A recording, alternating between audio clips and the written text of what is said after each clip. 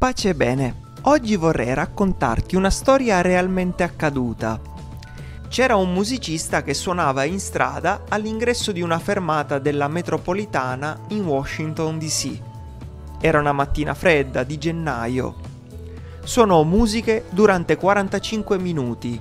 Incominciò con Bach, poi l'Ave Maria di Schubert, musica di Manuel Pons, di Massenet e di nuovo Bach. Erano quasi le 8 del mattino, era un'ora di punta, passavano davanti a lui frotte di persone, quasi tutte dirette al lavoro o a scuola. Dopo tre minuti un uomo di mezza età si accorse del musicista, rallentò il suo passo, si fermò alcuni secondi e riprese il cammino. Un minuto dopo il suonatore ricevette il suo primo dollaro. Senza fermarsi, una donna lanciò una banconota nella cassa del violino alcuni minuti dopo, un individuo si fermò alcuni istanti ad ascoltare, ma guardando il suo orologio riprese a camminare in fretta. Stava ormai facendosi tardi. Chi gli fece maggiore attenzione fu un piccolo di tre anni circa. Sua madre lo prese e lo tirò, ma il piccolo continuava ad ascoltare il violinista. Finalmente sua madre lo prese con forza e continuarono il cammino. Il piccolo, anche intanto che camminava, continuava con la testa girata a guardare il suonatore. Durante i 45 minuti in cui suonò, ci furono solo sette persone che si fermarono ad ascoltarlo brevemente. In tutto il tempo riuscì a raccimolare 32 dollari.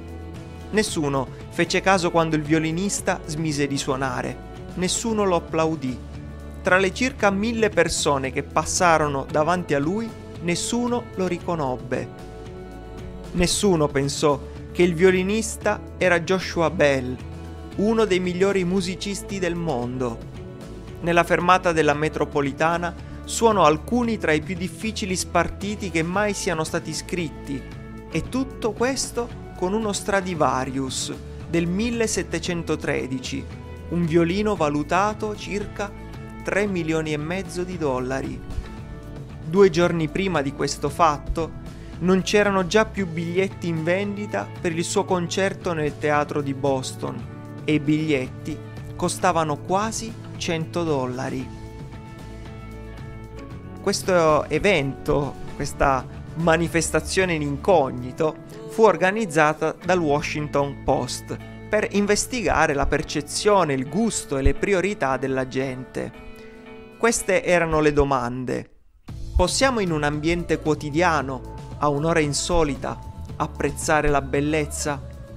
Ci fermeremmo per apprezzarla se non ci prendiamo il tempo di fermarci e ascoltare uno dei migliori musicisti del mondo che sta suonando alcune delle migliori musiche.